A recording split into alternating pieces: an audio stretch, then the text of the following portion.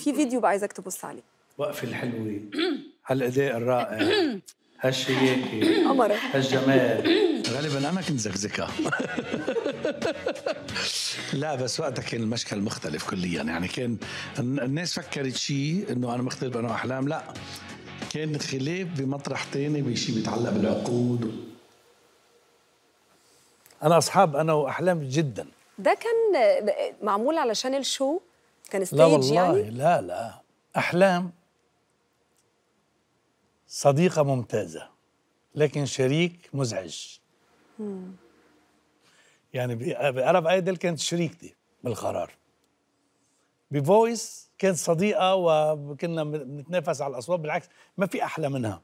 بس ب Arab Idol آه، لأنه كنا شركة بالقرار آه، كان في كتير إزعاج بالعلاقة بيناتنا. فما كانش شو أبداً. ما كانش فيه اتفاق على لا بس حاجة. أنا كنت زكزكها صح. أنا زعجها أيام. عشان هيك عشان طلع بتحبها. طلع فيها عشان بحبها. عشان بتحبها. أحب أشوف ال- ال- الجنون يعني يطلع من إحنا كلنا بنحب الملكة أحلام بجد.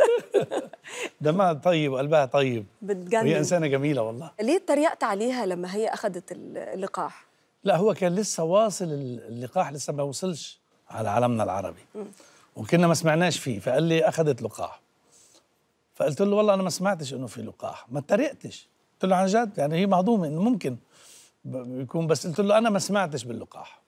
وفعلا كان لسه يعني عم تحكي من ست شهور من دلوقتي. كان لسه الموضوع في أوله. أو يعني أنا ما كنتش كنت سامع إنه عم بيطلعوا لقاح. وطبعا no way إنه حدا ياخده. كان مرعب فكرة اللقاح وكان يجي أخبار على ال social media وبالجرايد وبالتلفزيونات إنه اللقاح في حاجة من ال مش عارف السيطره على ال- ال nano technology ومش عارف إيه. فانا وقتها أنا أكيد إنه هي ما اخذتش اللقاح. عشان كده ضحكت. ليه أحلام قالت كده؟ إنه هي لذيذة. بتحب الأخبار.